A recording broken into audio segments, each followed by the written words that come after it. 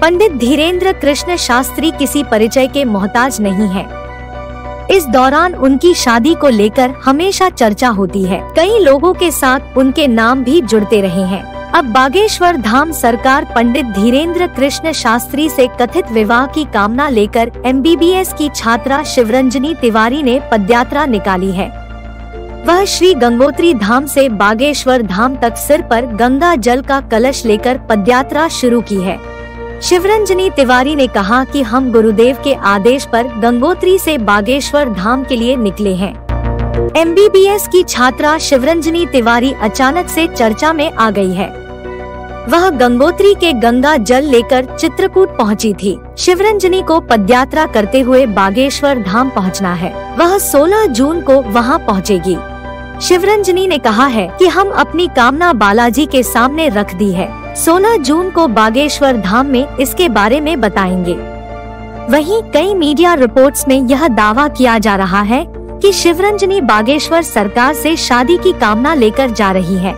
शिवरंजनी तिवारी ने एक news channel को दिए इंटरव्यू में इस सवाल का जवाब दिया है। उन्होंने कहा है कि ये मेरी कामना है या नहीं, ये सिर्फ़ मेरे बालाजी सरकार जानते हैं। विवाह के बारे में सिर्फ़ बालाजी सरकार को ही पता है। इसके बारे में जो भी सच्चाई है, इसे लेकर हम सभी लोग 16 जून को बागेश्वर धाम से लाइव आएँगे। वहाँ से हम लाइव बता देंगे कि हमारी कामना क्या है।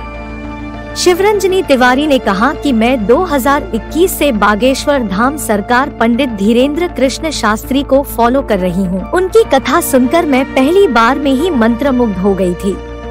शिवरंजनी ने कहा कि मैं भी भागवत कथा कहती हूँ। उन्होंने कहा कि उनकी तीन बड़ी घोषणाएँ हमें प्रभावित करती हैं। उनमें एक कैंसर अस्पताल की घोषणा है। किसी भी डॉक्टर के लिए इससे बड़ी खुशी नहीं होगी।